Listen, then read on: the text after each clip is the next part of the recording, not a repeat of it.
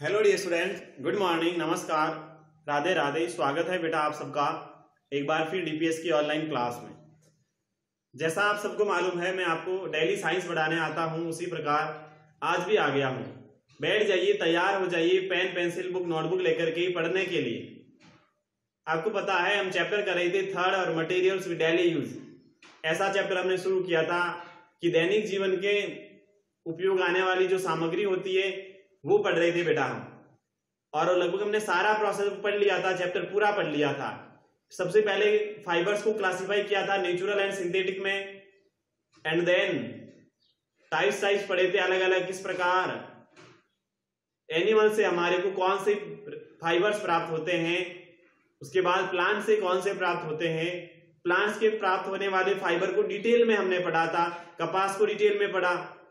उसके बाद कपास से कैसे कपड़ा तैयार किया जाता है रेसे से कपड़ा बनाना, ये भी डिटेल में पढ़ा था।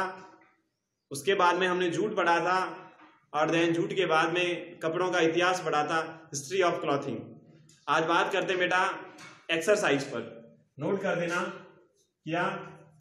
E X E R C I S exercise क्या? एक्सरसाइज नोट करना है। एक्सरसाइज में बात करूँगा पहला क्वेश्चन आपको पता है क्वेश्चन नंबर ए लगाना पहले। ए और ए है बेटा O R A L Q U E S T I O N S oral question oral में पहला क्वेश्चन है और पहला है name two T Y P S types of fibers क्या? फाइबर्स ये पहला क्वेश्चन है। आंसर इसका आगे ही लिखने जा रहा हूँ। क्या आंसर है? आपको नेम लिखना है दो फाइबर्स के। तो पहला लिखना N A T U R L natural and S Y N T H E T I C synthetic यही आंसर है। पहले का आंसर नेचुरल एंड सिंथेटिक एक प्राकृतिक है और एक संश्लेषित है। Now question number second give two examples of man made clothing materials दो एग्जाम्पल्स लिखने हैं मैन मेड क्लॉथिंग मटेरियल्स के। तो बेटा दोनों नाम लिख देना है। क्वेश्चन लिखू क्या पहले? हाँ या नहीं लिखे क्वेश्चन डायरेक्ट आंसर ही लिख देते हैं। क्वेश्चन आप नोट कर देना। और आंसर लिख देना N Y L O N nylon और एक लिख देना polyester P O L Y S T E R polyester लिख देना, ठीक है ना? नाइलॉन और पॉलिस्टर ये मैन मेड क्लॉथिंग मटेरियल्स है। आपको पूछा ना दो एग्जांपल्स लिखना मैनमेड और दोनों ही मैनमेड है एक नाइलॉन है एंड एक पॉलिस्टर अब बात करते हैं क्वेश्चन बी की। बी में है एमसीक्यूज है। एमसीक्यूज में tick the correct option tick the correct option सही विकल्प को चुनना है। सही कौन सा विकल्प है? बात करते हैं पहले क्वेश्चन की। फ़र्स्ट है, a silk worm lives on the lives of. A silk worm lives, एक रेशम कीट किस पर रहता है, किस की पत्तियों पर रहता है? तो फ़र्स्ट का आंसर आएगा बेटा ए, और M U L B R Y M U L B E double R Y mulberry का मीन सैतूत होता है, इसकी पत्तियों पर रहता है, रेशम कीट इस कारण से पहले का आंसर ए हो गया। फिर सेकंड है synthetic cloth are good absorbent cool wrinkle resistance or all of this देखो बेटा सिंथेटिक पूछा है। अब सिंथेटिक वाले एब्जॉर्बेंट थोड़ी होते हैं कूल भी नहीं होते हैं ओनली फॉर रिंकल रेजिस्टेंस होते हैं। सी आएगा। सेकंड में सी आएगा W R I N K L E wrinkle R E S I S T N T wrinkle resistance का मतलब क्या होता पता है ना? जुरिया नहीं आती ऐसे कपड़ों की। जो सिंथेटिक फाइबर के कपड़े होते हैं, वो कपड़े रिंकल नहीं होते हैं। उस पर जुरिया नहीं आती है। इस कारण से रिंकल रेजिस्टेंस होता है। अब बात करते हैं तीसरा। पहले में मलबरी सेकेंड में wrinkle resistance and third which of the following is not a man made fiber निम्नलिखित में से कौन सा मैन मेड फाइबर नहीं है? तो बेटा सी वाला नहीं है। सी में है coir C O I R क्या है? कॉयर का मीन्स होता है नारियल जटा। नारियल पर ऊपर जो जट होते हैं ना, नारियल पर बाल होते हैं, वो नारियल जटा नेचुरल फाइबर होता है। फिर फोर्थ का देखते हैं। Which natural fiber is obtain from insects कौन सा प्राकृतिक रेशा कीट से प्राप्त होता है? तो कौन सा प्राप्त होता है? रेशम प्राप्त होता है। तो लिख दो बेटा ए और ए में है ऐसा यल के सिल्क यानी रेशम प्राप्त होता है। क्वेश्चन सी की बात करते हैं। सी है, बेटा match the following M E T C H match the F O double L O W I N G match the following match the following में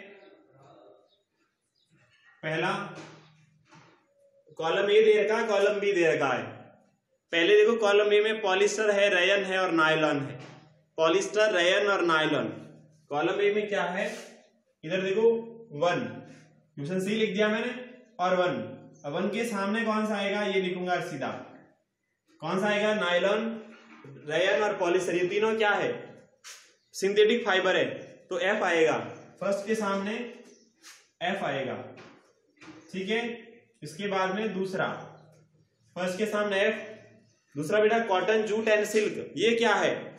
कॉटन भी नेचुरल है जूट भी नेचुरल है और सिल्क भी natural है। तो सी आएगा। क्या आएगा?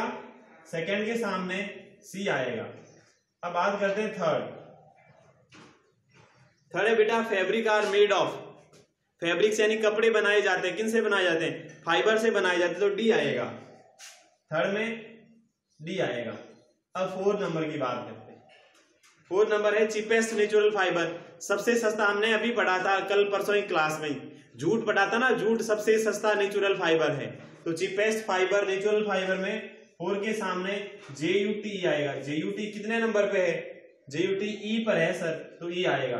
अब five process of making yarn to fabric yarn को फैब्रिक में बदलना स्पाइनिंग कहलाता है बेटा? स्पाइनिंग है ए में। ए में स्पाइनिंग फिर लास्ट कौन सा बचा? सिक्स बचा है। और बचा कौन सा है? कि सर, हमने अभी तक बी नहीं लिखा है तो यहाँ लिख दो बी। ये लिख दिया बी। यानी क्या है बी? सिक्स है separating fibers from seeds by combine combing combing यानी जैसे कंगी के द्वारा पकड़ करके बीजों से जो सेपरेट किया जाता है फाइबर उसको क्या कहा जाता है? तो उसको क्या कहा जाता है? हाथ से चुनना कहा जाता है। इसका मतलब घिनिंग कहा जाता है। G I double N I N G इस प्रकार कितने क्वेश्चन कर लिए बेटा? पहला कर लिया ए बी और सी तीन क्वेश्चन कर लिए। एक और कर ही लेते हैं। डी वाला। देखो डी में क्या है। आंसर देना वन वर्ड में। Answer in one word. क्या है question D? A N S. W R. Answer. Answer in one word. Answer one word. पहला पहला क्या है? एक शब्द में उत्तर दीजिए क्या किसमें? ओनली फॉर वन वर्ड एक शब्द में उत्तर देना। देखो, एक शब्द में उत्तर। Process of separating fiber from stalk of jute plant jute के पौधे के स्टाक से फाइबर को अलग करने का प्रोसेस हमने पढ़ा था ना retting R E double T I N G वो क्या था? जूट में ही पढ़ा पढ़ा था। तो फ़र्स्ट में आएगा retting R E T T I N G दूसरा। Outer covering of coconut coconut का बाहर सबसे बाहरी कवर क्या कहलाता? सीओ आई आर कॉयर हमने पढ़ा था ना सीओ आई आर कॉयर यानी नारियल जटा। तो वो कॉयर ही आउटर पार्ट है ऑफ़ कवरिंग ऑफ़ कोकोनट का। तीसरा। तीसरा और तीसरा है process of making yarn from fibre fibre से यार्न बनाने की प्रक्रिया स्पाइलिंग कहलाती है बेटा। S P I double N I N G S P I double N I N G spinning और लास्ट है largest silk producer in the world आपको पता ना China C H I N A China हाँ? जहाँ से corona आया ना, वो वाला देश। जहाँ से कोरोना निकला है, उस देश में लार्जेस्ट सिल्क प्रोड्यूशन है वो। सबसे ज़्यादा रेशम का उत्पादन करता, कौन करता है? तो चाइना देश करता है बेटा। तो इस प्रकार कौन सा क्वेश्चन कर लिया? क्वेश्चन नंबर डी भी कर लिया। फ़र्स्ट में retting second coir third spinning and fourth China question करवा रहा हूँ यहाँ। ई e वाला। कर लेते हैं क्या? हाँ? कर लेते हैं। फिल इन द ही है। F I double L fill in the blanks पहली फिल इन द ब्लैंक्स देखना jute is cultivated during rainy season हाँ जूट की खेती वर्षा ऋतु में होती है। फिर देखना दूसरा। जूट की खेती कौन सी ऋतु में होती है? वर्षा ऋतु में होती है। खाली जगह are generally made by weaving और नीटिंग यार्न्स वेविंग और नीटिंग यार्न्स क्या बनाए जाते हैं वेविंग करके या नीटिंग करके? हाँ? वेविंग या नीटिंग करके क्या बनाए जाते हैं? देखो बेटा, क्या बनाए जाते हैं? हम्म?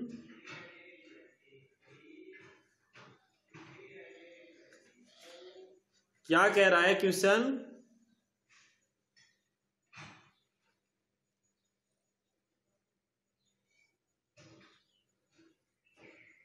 लिख दो बेटा स्वेटर लिख दो। Sweater are generally made by sweater बनाए जाते हैं अक्सर। क्या बनाए जाते हैं? वो देखो, पे है ना, वो लेडी स्वेटर बना रही है या मफलर बना रही है। वही है वेविंग और नीटिंग तो आपको लिख देना S W E A T E R S W E A T E R number three sweater are sweater are generally made by weaving या knitting plant fibre can be obtained from पौधे के fibre हमारे को प्राप्त होते हैं कौन से प्लांट से? Cotton and jute plant. Third में, पहली खाली जगह में तो कॉटन और दूसरी खाली जगह में J U T jute. Natural fibre हमारे को कॉटन के पौधे से और जूट के पौधे से प्राप्त होता है। लस्ट वाला कौन सा प्रोसेस है? यार्न से क्लॉथ में कन्वर्ट किया जाता है। यार्न होता है, उस यार्न को क्लॉथ में कन्वर्ट करने का प्रोसेस वेविंग है बेटा। चौथी खाली जगह में W A V I N G weaving यानी बुनाई करना होता है तो बुनाई करने का प्रोसेस है जिसे आप धागे को कपड़े में बदल देते हो। इस प्रकार काफ़ी क्वेश्चन हमने कर लिए हैं। ऐसा कहूँ तो पाँच क्वेश्चन कर लिए। ए कर लिया बी कर लिया सी कर लिया डी कर लिया एंड लास्ट ई कर लिया। बहुत ज़्यादा काम हो गया होगा आपके। आज हमने पाँच क्वेश्चन कर लिए ठीक है ना? हाँ। तो आपको होमवर्क में यही क्वेश्चन करने सारे। मैंने डायरेक्ट आंसर नोट करवाए हैं। क्वेश्चन आपको ही करना है। क्योंकि आप समझदार बच्चे हो। आप बड़े बच्चे हो इसीलिए। ये मैं नोट कर रहा हूँ होमवर्क यही करना सारा। क्वेश्चन ए टू ई ए से लेकर ई e तक सारे क्वेश्चन करने, विद आंसर अच्छा करना, सुंदर अक्षरों में करना। कल की क्लास होगी, उसमें शॉर्ट आंसर के क्वेश्चन करेंगे एंड देन आगे लॉन्ग आंसर ऐसे ऐसे करते जाएँगे। अब बेटा चलता हूँ, ईश्वर से प्रार्थना करूँगा, आपको सुरक्षित रखे, आपके परिवार को सुरक्षित रखे। तब तक ले बेटा bye have a nice day thank you